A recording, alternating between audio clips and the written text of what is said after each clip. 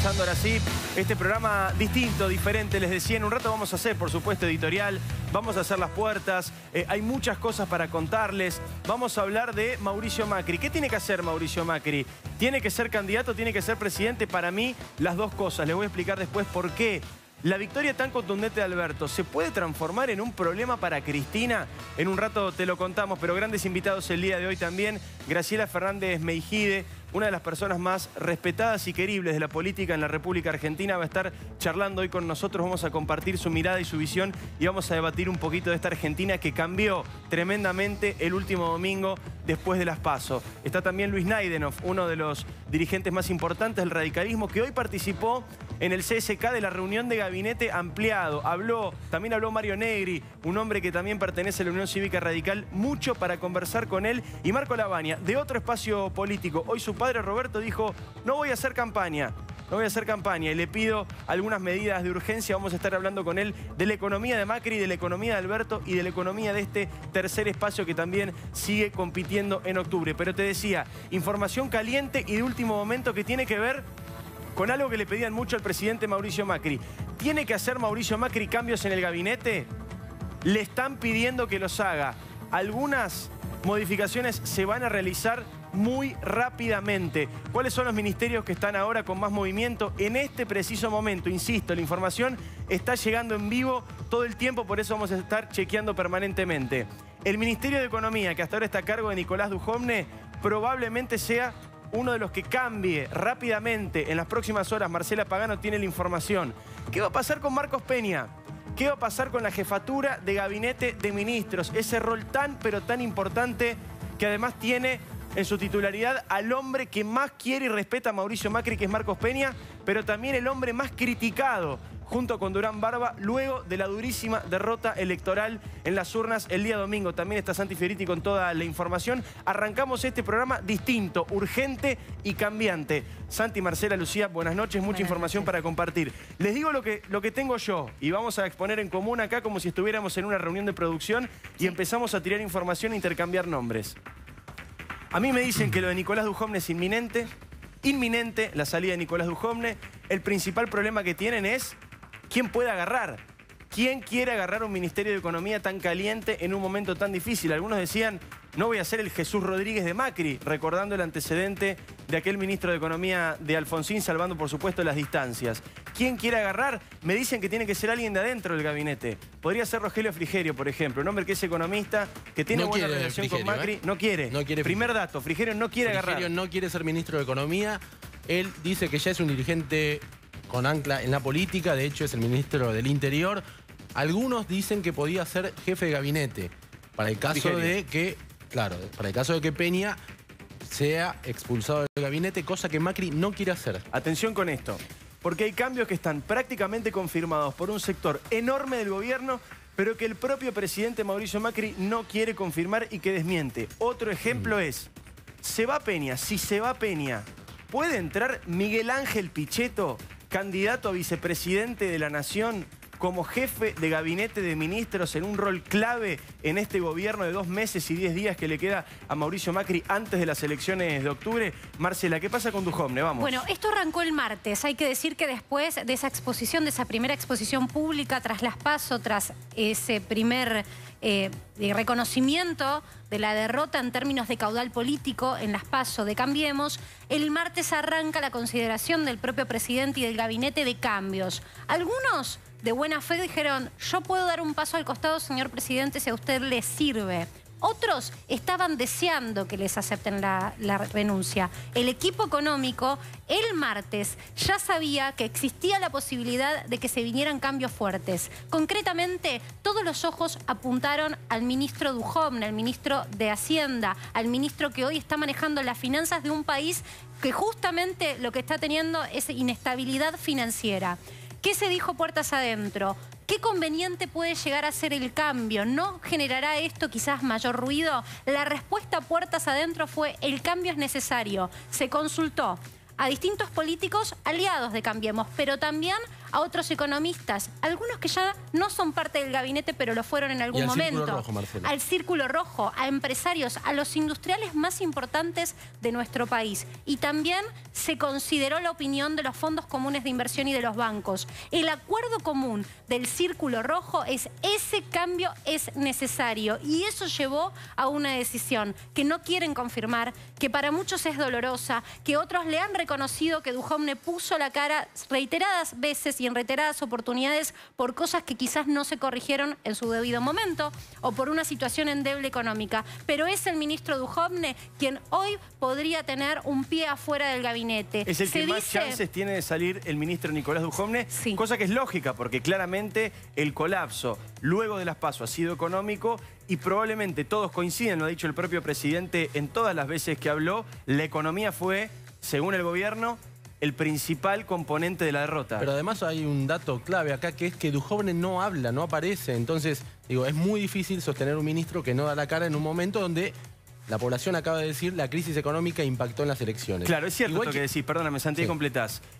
Todas las medidas económicas fueron anunciadas en persona por el presidente Mauricio Macri. Mm. El ministro de Economía no participó ni siquiera de las conferencias de prensa posteriores a los anuncios. Y- Sí estuvieron Frigerio, estuvo Patricia Bullrich, estuvo Alejandro Finocchiaro, estuvo Carolina Stanley, pero no estuvo eh, Rogelio Frigerio. Ahí vamos, Marce, que Y tenés quiero agregar un dato, Sí. ¿no? Marcos Peña tampoco ver, está mostrame. hablando, eh, con lo cual me parece que Macri tiene que tomar una decisión impulsado por los acontecimientos. ¿Qué va a hacer el presidente? ¿Va a hacer lo que él quiere, que es no cambiar ministros, o va a hacer lo que le pide un sector de su propio gobierno, que es tomemos medidas ya porque todavía faltan 70 días para las elecciones y hay tiempo de descontar e incluso de ir a un balotaje, aunque las chances son muy remotas. Pero quiero un datito más Sí, con respecto a Frigerio. Está Frigerio llegando de fue todo, está llegando el que de todo. dijo eh, el lunes a la una de la mañana, es decir, apenas habían terminado el recuento provisorio de los votos, dijo, acá está mi renuncia y creo que le va a hacer bien al presidente que todo el gabinete ponga la renuncia a su disposición. Frigerio fue el primero en renunciar. El Sí. primero. En ese momento el presidente le dijo, de acá no se va nadie, no es momento,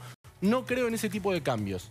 Por eso insisto, los acontecimientos se están yendo demasiado rápido y Macri tendrá que tomar una decisión cuanto antes, digo, si va a ser un cambio. Esto explica también por qué algún- algunos sectores cuestionaban cómo puede ser que el ministro no esté viajando a tener reuniones en Wall Street para calmar las ansias de un mercado que está desestabilizando el tipo de cambio. Esto demuestra o podría llegar a fundamentar la explicación de por qué no estuvo en ninguna de las conferencias de prensa y también por qué el ministro Duhovne no viajó. Muy bien, estas son los interrogantes que aparecieron hace un instante nada más. Esto es información de último momento, 2204. Estamos arrancando este programa así distinto, con información que va llegando. Recién a Marcela también le seguían confirmando algunas cosas. Lo planteo a modo de pregunta, porque recordemos que hace algunos, algunos meses, cuando también hubo una crisis importante económica y política dentro del gobierno de Cambiemos, aquel almuerzo en Olivos, ¿se acuerdan? En los cuales ofrecieron ministerios a distintos actores de la política y eso finalmente no tuvo éxito. Terminó con el arrepentimiento de Mauricio Macri, por eso la información es delicada y la estamos dando y la vamos contando cuando va apareciendo.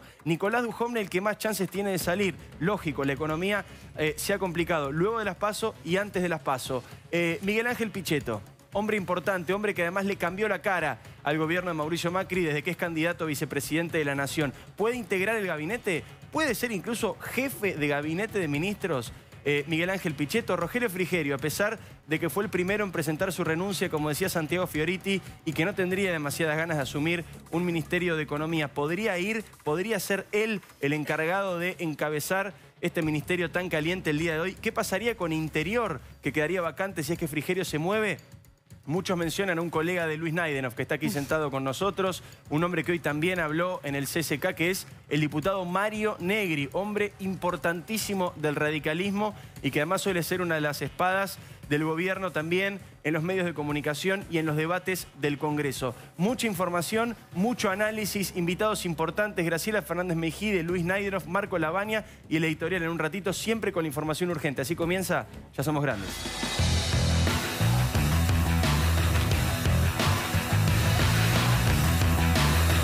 Despegar cambió para darte nuevas experiencias. Descubrilo, despegar, vivir viajando.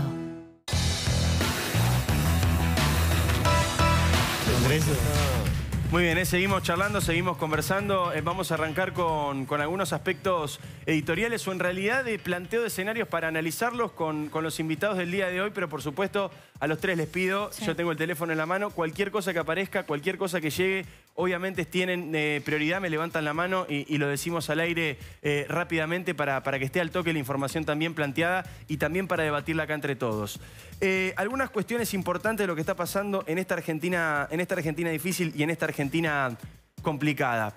Se ha planteado este dilema en el cual Mauricio Macri tiene que tomar una decisión, o varias decisiones en realidad. La del cambio de gabinete podía ser una, algunas de estas medidas que se han anunciado el día de hoy, medidas para los créditos suba, la eliminación del impuesto al valor agregado hasta el 31 de diciembre, lo que podría generar eh, eh, que evite un aumento de precios luego de la devaluación, los cambios en ganancias que ya han sido muy analizados a lo largo de estas últimas horas, pero hay también decisiones políticas que tiene que tomar el presidente Mauricio Macri. Primera cuestión que es importante, se ha hablado mucho de transición, se ha hablado mucho de transición como si ya estuviera definida la elección nacional oficial de octubre. Eh, y la verdad es que me parece que en estos tiempos de incertidumbre, en estos tiempos tan calientes, donde todo está tan cambiante y donde la Argentina necesita certezas, por eso planteamos en el medio está el país. En el medio de esta pelea está la República Argentina y estamos todos. Cuando la Argentina necesita certezas, tenemos que ceñirnos más que nunca a las leyes, a las leyes de la democracia, a las leyes electorales. Y lo que dice esa ley electoral es que el 27 de octubre hay una elección general a presidente con candidatos confirmados. Pero claro, ¿qué pasó? Esta especie de anomalía bien argentina que fueron las pasos generaron un escenario casi inédito, sin precedentes, en el cual hay un candidato a presidente que ha sumado una cantidad de poder impresionante como es Alberto Fernández y un presidente, candidato a presidente también, que tiene que lidiar con ambas cosas. Y ahí me voy con el primero de los desafíos. Se está planteando esta dicotomía Macri versus Macri.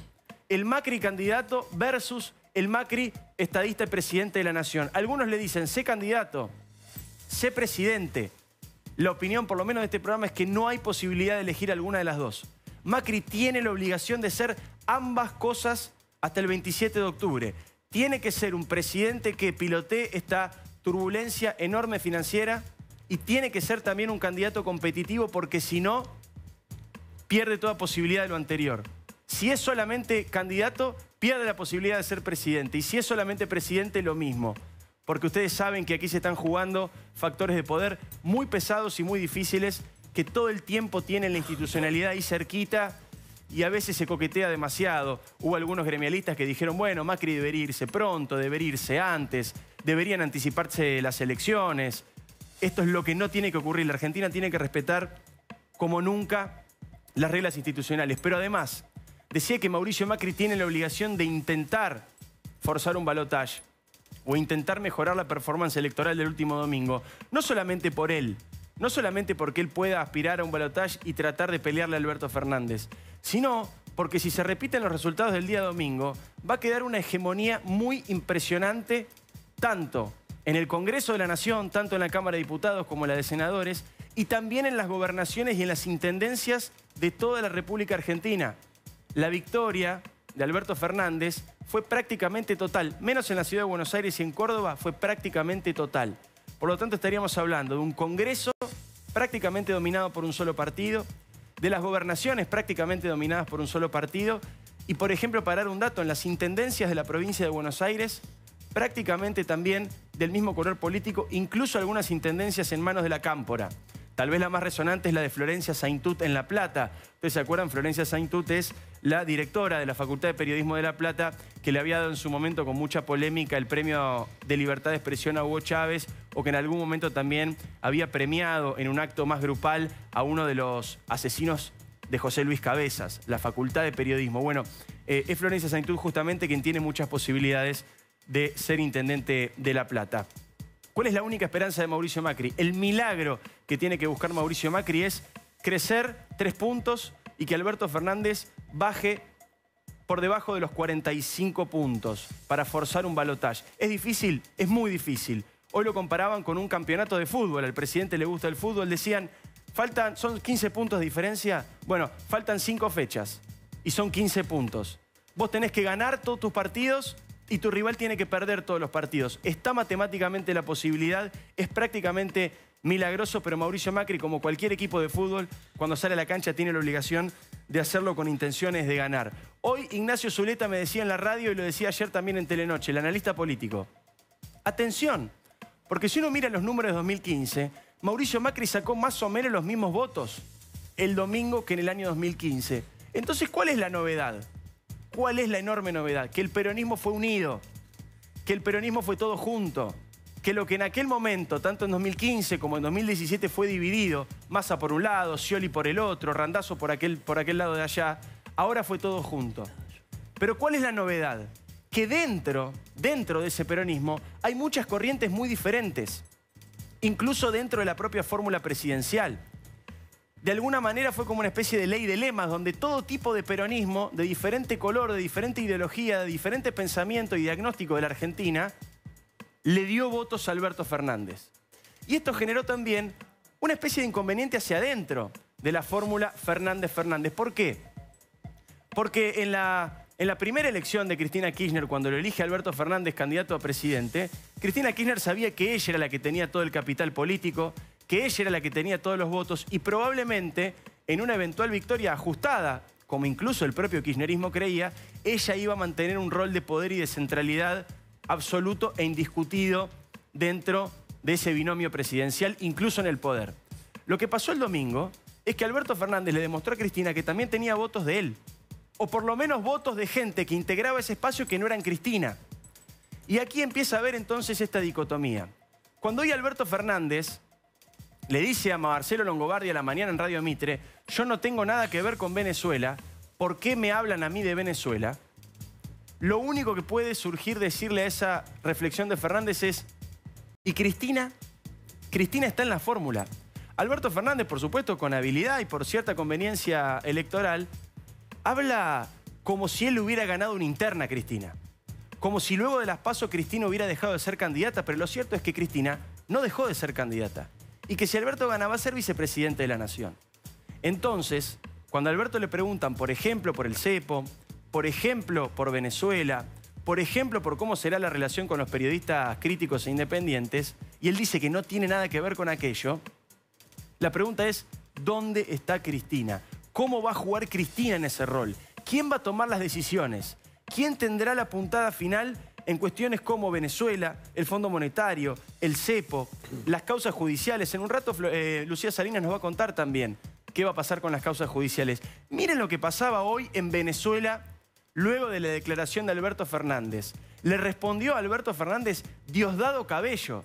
Diosdado Cabello es uno de los tipos más poderosos y peligrosos de Venezuela. Y cuando Alberto Fernández dijo, miren que yo no tengo nada que ver con Venezuela, desde Venezuela le decían esto, mirá. Hubo elecciones en Argentina. No, yo me alegro mucho por el, por el esfuerzo del pueblo argentino y por el valor. Ojalá, ojalá Dios querido, que no me equivoque, que a quien están eligiendo no vaya a creer que lo están eligiendo porque es Él. Ahí es un pueblo que le dice no al neoliberalismo, no defrauden ese pueblo. El único que entendió eso fue Néstor Kirchner. Ahí está. Ahí está. ¿Qué le dice Diosdado Cabello a Alberto Fernández? Alberto, todo bien. Pero no te olvides que nosotros también estamos en esta fórmula presidencial. Que también está Cristina, que también está Máximo, que también está Kisilov, que también está la Cámpora, que también está un montón de gente que cree que Venezuela es un modelo interesante. No te olvides de eso. Y eso que apareció desde el contexto internacional con Diosdado Cabello, bueno, de alguna manera también comienza a aparecer. Entonces, esta victoria tan importante, tan contundente de Alberto Fernández, ¿puede generar cierta tensión con Cristina? Por supuesto. Obviamente la estrategia es no mostrarla, no contarla. Cristina prácticamente no aparece, pero insisto, cuando se le pregunta a Alberto Fernández, él responde como si Cristina no fuera parte del binomio, pero sin embargo Cristina está ahí y va a ser, por supuesto, fundamental. De acá a octubre y ni hablar si es que finalmente Alberto Fernández logra ser electo presidente de la República Argentina, con Cristina en la fórmula, con Máximo en el Congreso y con la Cámpora en algunas gobernaciones y en algunas intendencias. Seguimos atentos a los cambios, posibles cambios de gabinete. ¿Es Nicolás Dujovne un cambio inminente?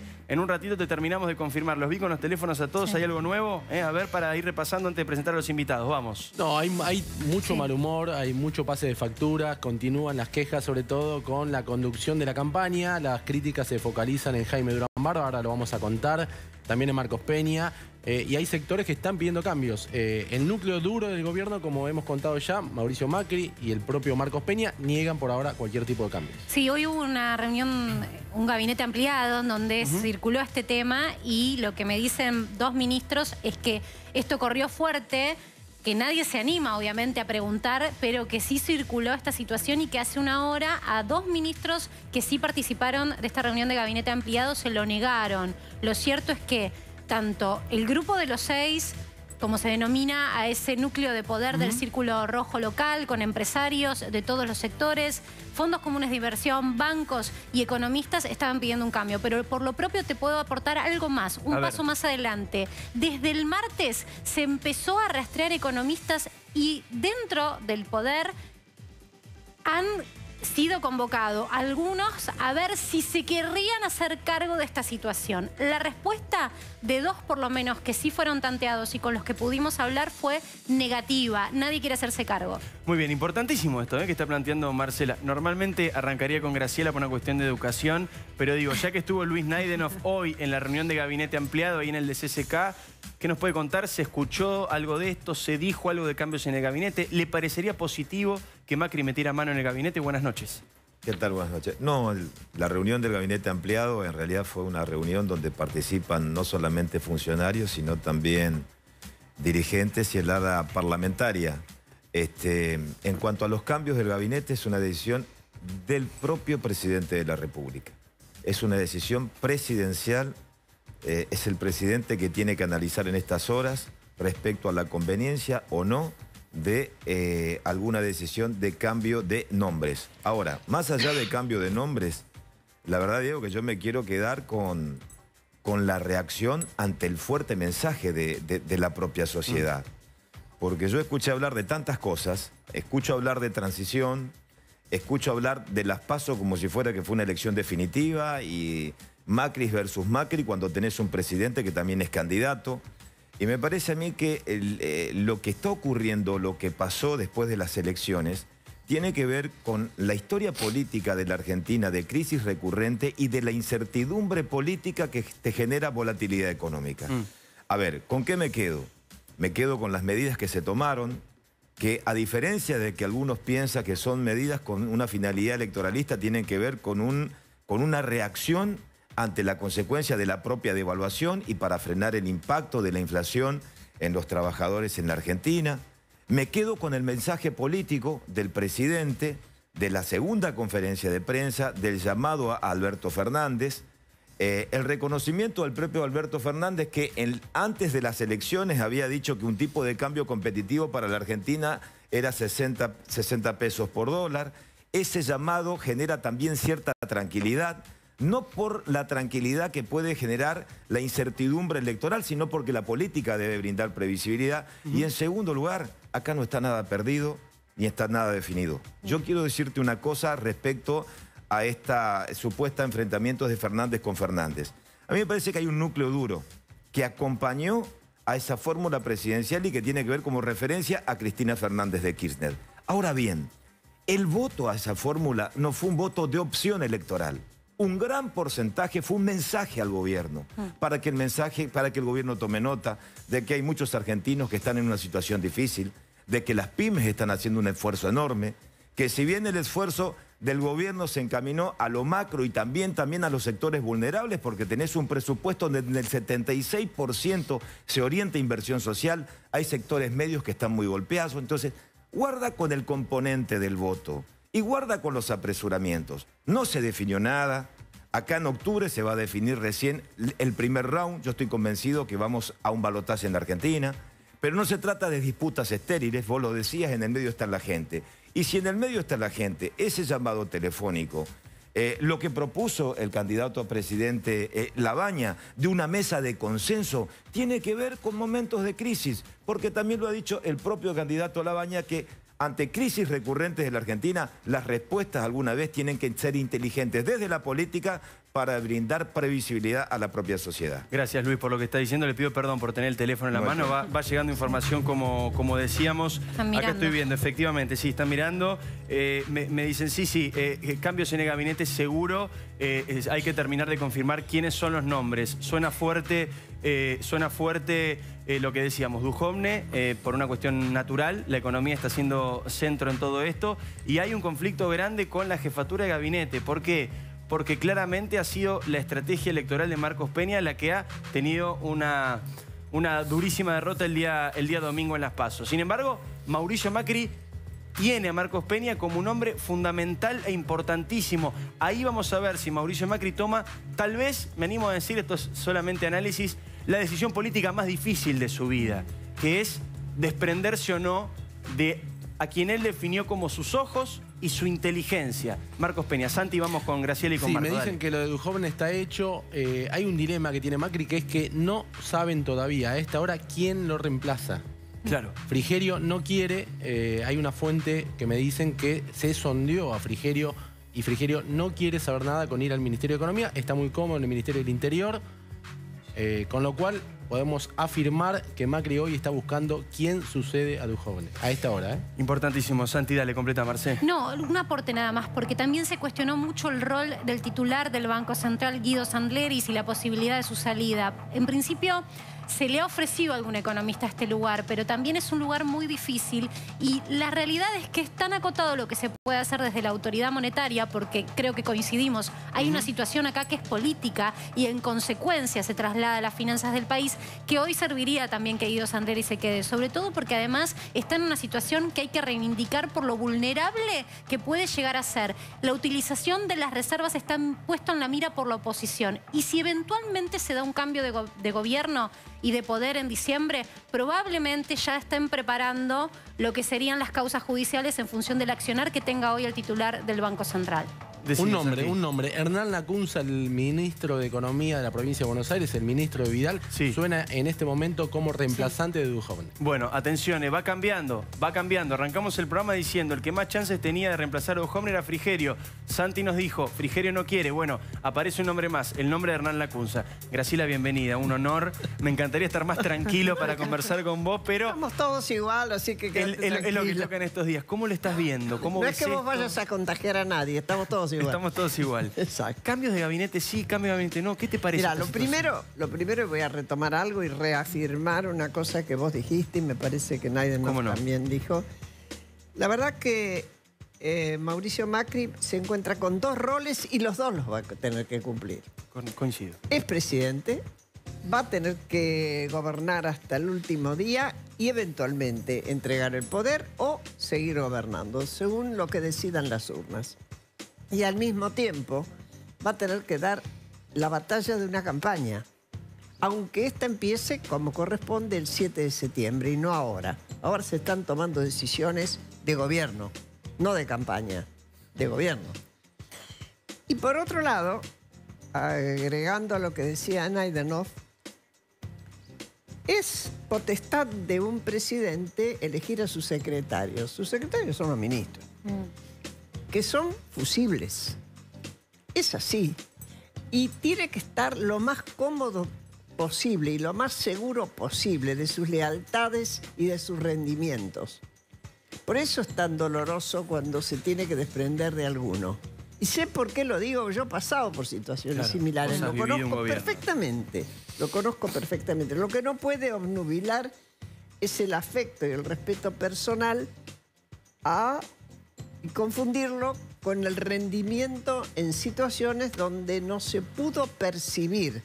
Desde un lugar donde se suponía que era la eficacia en el análisis de qué le pasaba a la sociedad, no se pudo percibir que había un enojo que se iba a volcar en estas elecciones, incluso creo yo, en algunos sectores de la sociedad, aquellos que no son el núcleo duro de los Fernández, como una forma de castigar sin consecuencias porque total la paso no decide nada.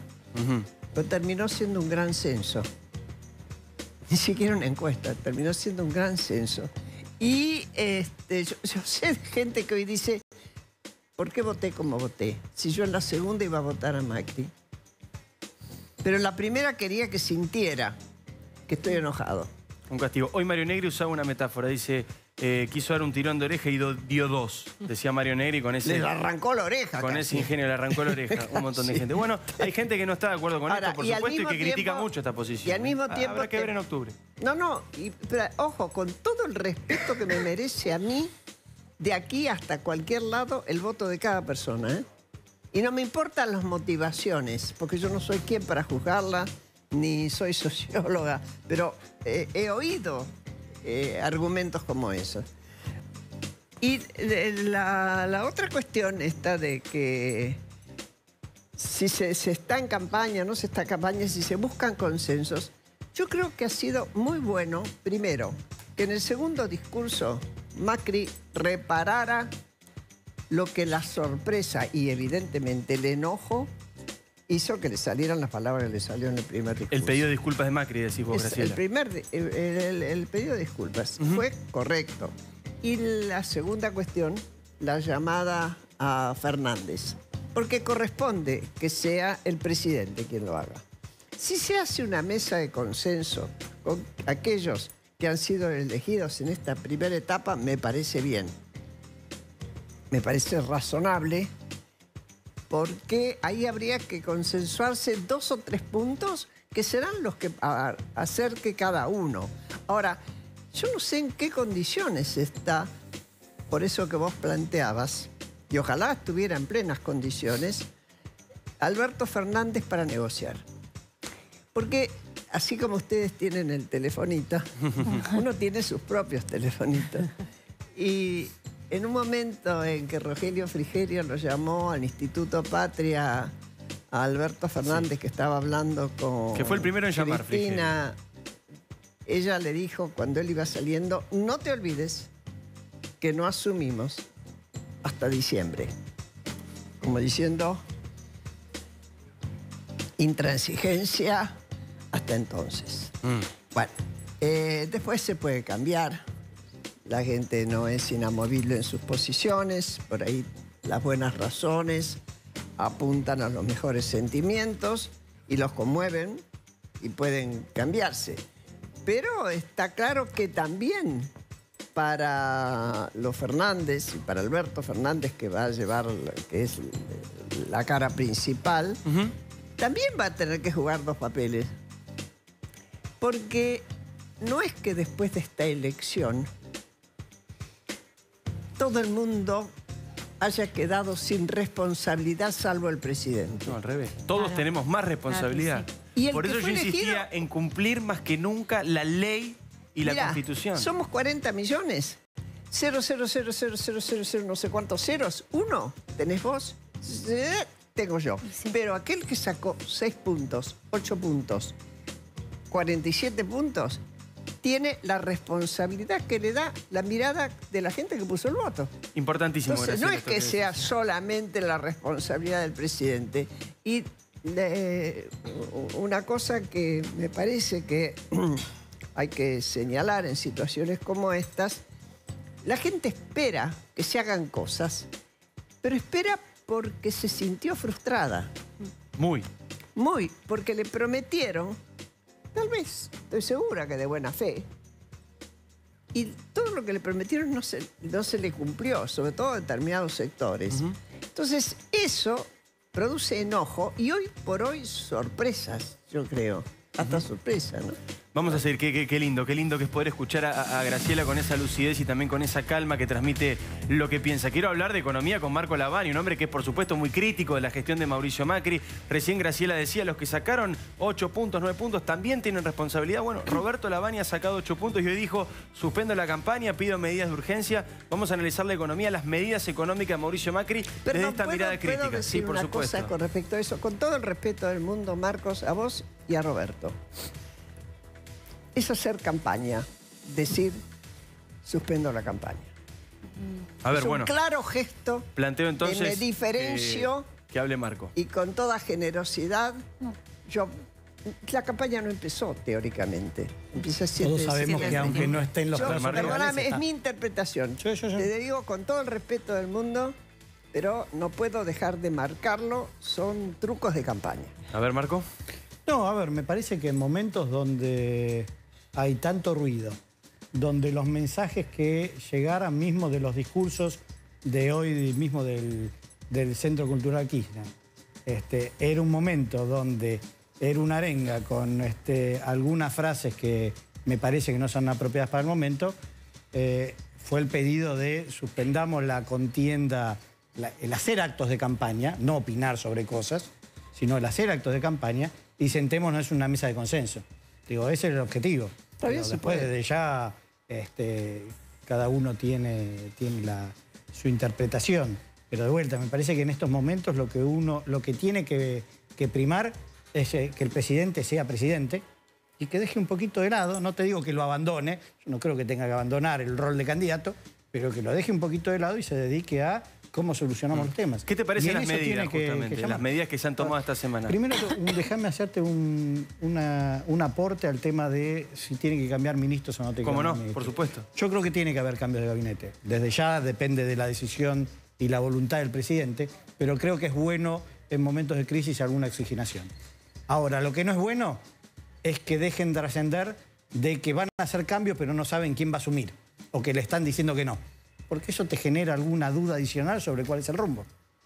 Digo, si no te quieren aceptar nadie es porque estamos muy mal. Entonces, si lo van a hacer, que lo hagan. Si no, silencio, porque genera más incertidumbre. Sobre las medidas en particular, toda medida que sea para alivianar un poco la carga del bolsillo, para, para dar un poco de, de aire, siempre son bienvenidas. Eh, muchas de las medidas eh, creo que nosotros también, en alguna forma, también las veníamos proponiendo, pero hay un tema que para mí falta de las medidas, que es cómo hacer para cambiar el esquema económico. Si no terminan siendo medidas que son paliativos, que te duran dos, tres meses hasta diciembre, y al día después de que se terminaron las medidas te agarras la cabeza. Entonces, la clave es cómo haces para cambiar el esquema económico para que esas medidas, que pueden ser correctas, tengan un resultado que perduren en el tiempo y no que se vayan perdiendo por los saltos inflacionarios o por las caídas este, bruscas que tenemos. Luis. Las medidas son consecuencias de este brusco proceso devaluatorio que se generó por la incertidumbre política de la Argentina después de las propias pasos. Por eso viene muy bien ese diálogo entre el presidente y Alberto Fernández. En segundo lugar, había dos cuestiones, hay dos miradas, los que pueden decir que son medidas electoralistas y los que estamos convencidos que tienen que ver con una propia reacción ante el fuerte mensaje y fundamentalmente este proceso económico que brusco e inesperado que se precipitó en los Y últimos que tiene días. consecuencias al bolsillo directas. En segundo lugar, en segundo lugar, este, mm, yo mm, tampoco hay que sembrar una, una, digamos, una especie de mirada apocalíptica en cuanto a la cuestión económica. A ver, este tema de si hay ministros que aceptan o no aceptan es una cuestión que lo están manejando los medios. Es una cuestión y opinión que tiene que ver con el periodismo y su propia fuente. Acá tenés un gobierno que escuchó a la sociedad, nosotros estamos con un proceso autocrítico, a mí me parece muy bien reconocer errores, nosotros veníamos de una Argentina, no de hace 50 sa- años, ¿eh? de hace tres años y medio atrás, donde la lógica era discurso, mensaje, redoblar apuesta y el vamos por todo. Entonces, el saber escuchar, el saber pedir disculpas, el tomar nota, procesos autocríticos y realizar correcciones es el camino correcto.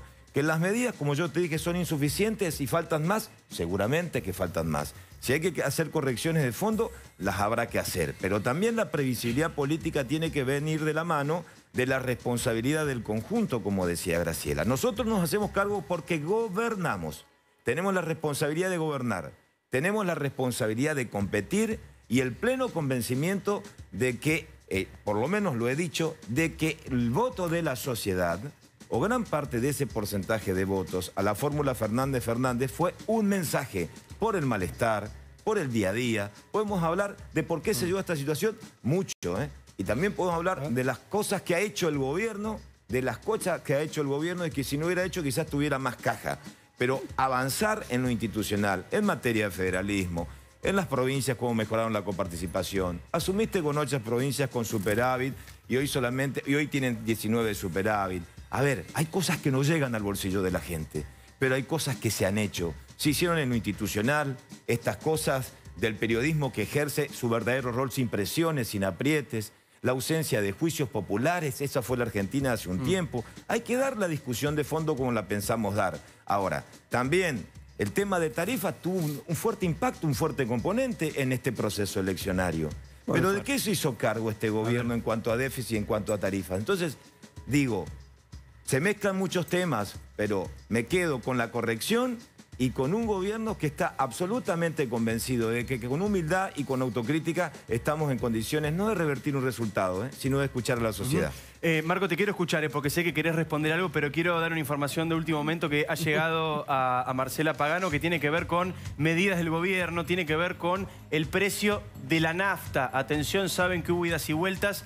El precio de la nafta, información de último momento, Marcela Pagano. Idas y vueltas porque la interna con las empresas fue muy fuerte, la decisión de congelamiento de precios fue algo que no se les avisó de antemano y por supuesto pusieron el grito en el cielo. Además que también hay que decir, algunos advertían, algunos empresarios, sobre el futuro de vaca muerta si se tomaba este tipo de medidas. Lo cierto es que, y lo concreto que tenemos para comunicar, es que saldrá un decreto de necesidad y urgencia. Finalmente el gobierno tuvo que echar mano de esta situación porque no hubo acuerdo en el diálogo con las petroleras esta tarde ni con ninguno de los componentes de la cadena porque lógicamente este congelamiento va a retrotraer los precios a lo que tenían los surtidores el viernes pasado, previo a las PASO, cuando el dólar estaba en torno a los 45 pesos. Congelamiento entonces por tres meses sin acuerdo, pero también digo, déjame aclararte algo, hoy surgió la posibilidad, concretamente en, en plena negociación, de la ley de abastecimiento, Sí, que se iba a aplicar para poder cerciorarse el gobierno de que los precios estuvieran y que también hubiera abastecimiento. Finalmente, esta situación se descartó y hoy la primicia la tuvo Martín Videgaray del diario Clarín porque se, ju- se judicializaba la situación y esto podía llegar a complicar la decisión del gobierno de congelar los precios. Por eso sale entonces un DNU, un decreto de necesidad de urgencia en las próximas horas y los surtidores tendrán congelados los precios por tres meses. Muy bien, importantísima información. Santiago, y vamos con Marco Lavagna. Sí, dale. un dato. eh, todo este paquete de medidas que está implementando el gobierno, hay, hay sectores que dicen, ¿por qué no lo hizo antes Macri? ¿Por qué se demoró? ¿Por qué esperó hasta ahora cuando perdió por 15 puntos? Bueno, la respuesta es la siguiente. Macri pensó que estas elecciones iban a estar muy parejas. De hecho, el sábado eh, nos consta que Macri decía que o empataba la elección, perdía por Sí, dos puntos, Macri ganaba muy por medio punto. No solo Macri, Jaime de Lombardo, Marcos Peña, el equipo más cercano. Con lo cual Macri tiene que apurar estas iniciativas en el medio de una debacle electoral. Marco Lavagna, usted quería responder lo que decía No, Neiderov. que, a ver, eh, estas medidas no son necesarias producto de la devaluación, ya eran necesarias antes. Porque el poder de compra, o el poder del salario, el poder de eh, salario real de los argentinos se viene deteriorando muy fuerte en los últimos dos años. Entonces ya eran necesarias antes. Las aplicás ahora en un proceso inflacionario producto de la devaluación que vas a tener y es donde la medida quizás te queda corta. Pero el problema es, y tomo recién el caso de los combustibles que decían, que es a lo que me refería yo. El día 91, lo congelás por 90 días. El día 91, ¿se te van a quedar quietos o te van a saltar? ¿Qué estás haciendo para evitar que el día 91 salte? Entonces, no se trata de cómo ganás tres meses más. Se trata de cómo utilizás estas herramientas que son válidas, bienvenidas sean, pero cómo las utilizás para cambiar la realidad. Y que el día 91 no tengas que agarrarte la cabeza porque te saltaron 20 puntos el precio de la nafta. esa, Es esa ahí donde medida está, de y es 90 lo que no días, esa medida de 90 días tiene que ver con un criterio de responsabilidad. Vos tenés en octubre elecciones y eventualmente balotaje en noviembre. Y a mí me parece que es de sentido común tomar determinadas medidas que tengan que ver con un proceso que no comprometa la propia gestión a las decisiones que quiera bien, adoptar. bueno, yo estoy convencido después más de bien las en el futuro. elecciones, Y ¿qué en cuanto, al tema del dólar, en cuanto al tema del, vos sabes, Marcos, que lamentablemente el precio de los combustibles está atado, está atado a la variable del precio del dólar.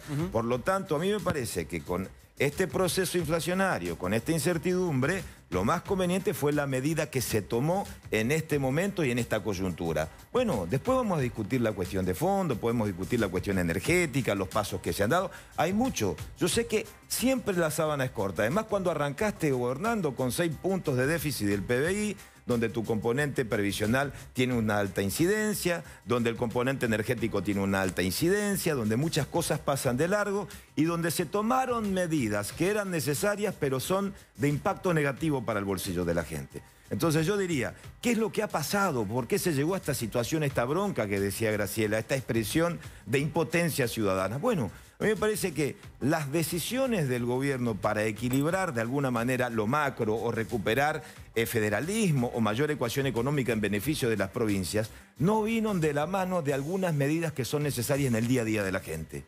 Acá la gente se afectó en el día a día se afectó con las tarifas. Y no solamente alcanzaba con explicar que había que sincerar tarifas, que de los, del 100% del componente de la energía que pagabas de tu tarifa, el 10% lo pagaba el usuario el 90% lo subsidiaba el Estado. Pero lo que se perdió de vista y pasa de largo porque Cristina está escondida y el candidato a presidente Alberto Fernández fue parte de eso, que de esos 90 que se subsidiaba, de 3 pesos, dos iban a los sectores ricos de la sociedad y un solo peso a quien realmente necesitaba el subsidio. Lógico, si te escondes, ser habla y te escondes no pasa nada. Pero cuando se tenga que elegir, ahora en esta instancia definitiva, vamos a ver quién es quién, ¿eh? Vamos a ver, porque para mí Fernández es Cristina. Porque los votos y el poder lo tiene Cristina. Mira la composición de la Cámara. Mira el Congreso que puede venir. La lista la armó La lista. ¿Quién armó la lista? De diputados, de senadores. Cristina y Máximo. Eh, eh, el núcleo duro del kirchnerismo. ¿Dónde está el poder? En la Argentina, hoy, en, el, en la oposición hoy en ese núcleo duro. El día de mañana, ¿qué Argentina nos puede esperar en un marco de incertidumbre? Entonces yo digo, bajemos un cambio, entiendo este shock inicial que te genera este resultado de las pasos, pero hay mucho para discutir y para hablar a partir de septiembre cuando arranque eh, este proceso electoral de caras a octubre. Estoy pasadito de tiempo, pero quiero escucharte, Graciela, que tenés algo también para aportar. Tranquila, tranquila. Yo pensaba eh, en esta cuestión de de las responsabilidades, ¿no?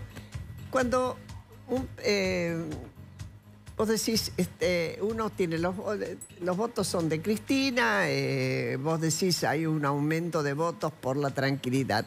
Yo me acuerdo del 2011 cuando Cristina Fernández de Kirchner, enviudando recién, sacó 54% de los votos. Y la cifra que le quedó detrás fue 17 no hay como armar oposición. Una de las obligaciones. De hecho, dejó de ser opositor Hermes Wiener. Hermes Wiener. Mm. Pero para el caso lo mismo, se llamara como fuera. Es una de las obligaciones que además tiene Macri, pensando en esta campaña, es mantener unido a Cambiemos, mantenerlo sólido, porque no hay que olvidar que es un partido nuevo, es una alianza nueva, y pensar que tiene que sacar la mayor cantidad posible de legisladores, porque la república supone democracia y la democracia republicana supone alternancia. Para que haya alternancia con peso específico, tiene que haber fuerza política.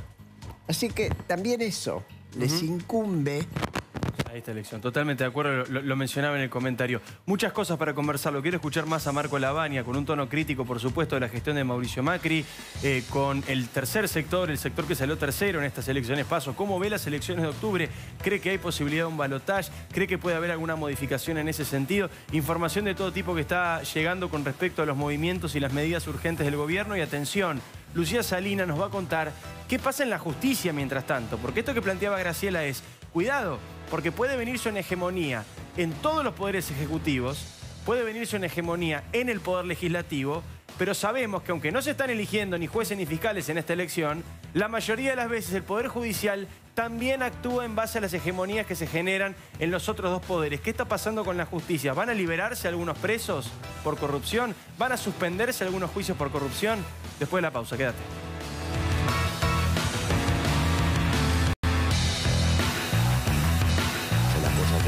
Bien, seguimos en este, en este programa súper súper caliente. Bueno, mucha, mucha información y muchas conversaciones en el corte también. Estamos con poquito tiempo porque, bueno, arrancamos, como yo decía, de manera distinta, pero no quiero dejar de hablar de la justicia. Lucía Comodoro Pi también es un hervidero porque, aunque no debiera ser así, ocurre que las urnas marcan el ritmo de las causas judiciales. Diego, si hubo un lugar donde se leyó la derrota del macrismo el domingo fue en los tribunales de Comodoro Pi. Silencio, cautela, resoluciones que ya estaban firmadas para salir y que no favorecían a Cristina Kirchner quedaron frenadas.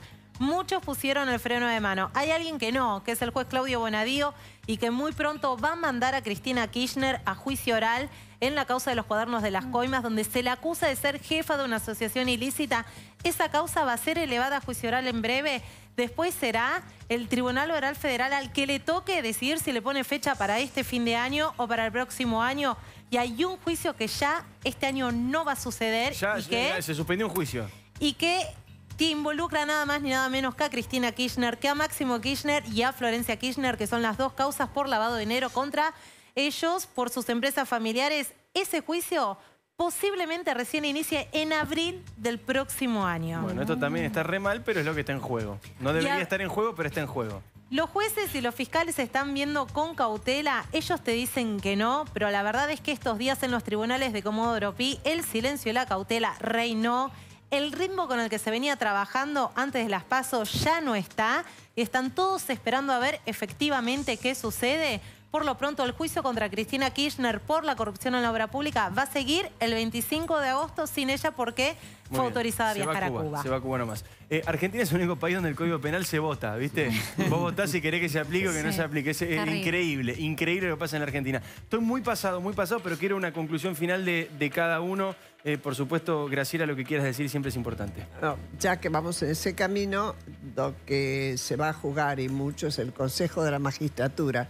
Para la gente, la mayor parte de la gente es chino básico, pero es ahí donde se deciden los jueces y desde donde se los presiona o no se los presiona. Un buen Consejo de la Magistratura debería ser un buen lugar que designara los mejores jueces. Un Consejo de la Magistratura impregnado de la política partidaria es un lugar muy peligroso. Muy bien, estoy recontra, recontra pasado de tiempo. Le- Les, quiero agradecer simplemente, siempre tengan así una, un- una línea final, un eslogan, aunque sea. Un título. Si es que lo quieren decir. Un título, como Si no, les agradezco, Estas Luis. cosas también están en juego, ¿eh? Estas cosas en octubre, ¿eh? La justicia La también. capacidad de recuperar una justicia independiente o una justicia sumisa, ¿eh? que siempre condena al ciudadano y beneficia al privilegiado que alguna vez ostenta un espacio o una función pública. Gracias, Nadie, por venir. Gracias a Marco. No, te diría que hace falta de vuelta la mesa de consensos donde empieces a trabajar en el día 91. Cómo empezar a hacer que la situación se empiece a corregir. Con algunos temas. Poner en la mesa la renegociación del acuerdo con el fondo, que empiece ya, pero que empiece ahora. Algunos temas que le permitan al próximo presidente, gane quien gane las elecciones, tener un poco más de margen de maniobra. Gracias, Lavania, por estar aquí. Ya venimos, todavía queda más información, no te vayas. Bueno, muy pasados de tiempo, gracias a todos por estar del otro lado, eh, gracias a nadie más. Eh, gracias chicos eh, por la información, por supuesto, se quedan ustedes con un programa imperdible de La Rosca. Nos vemos el jueves que viene, chau.